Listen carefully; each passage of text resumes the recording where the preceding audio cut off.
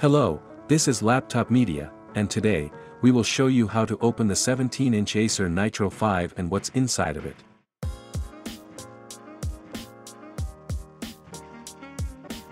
To take this notebook apart, you need to undo a total of 12 Phillips head screws. Then, pry the bottom panel with a plastic tool, starting from the front corners.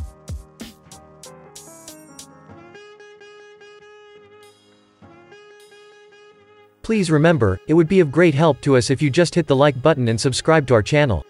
That would motivate us to make even more and better videos for you. Here, we see a 90 watt-hours battery pack. It lasts for 8 hours of web browsing, or more than 7 hours of video playback. To take it out, unplug the battery connector, and remove the two Phillips head screws that hold it in place.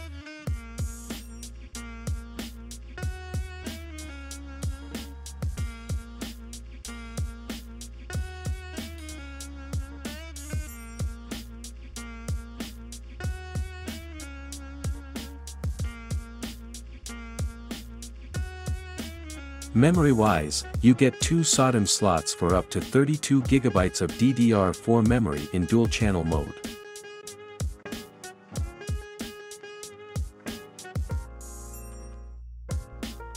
Interestingly, the storage options include two M.2 PCIe X4 slots, both of which work with Gen 4 SSDs, and support RAID mode.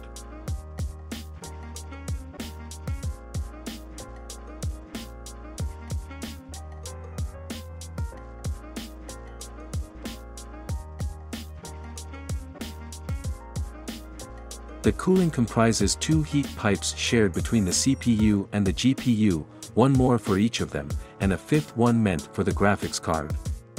In addition, you get four heat sinks, two fans, and a couple of heat spreaders for the VRMs and the graphics memory.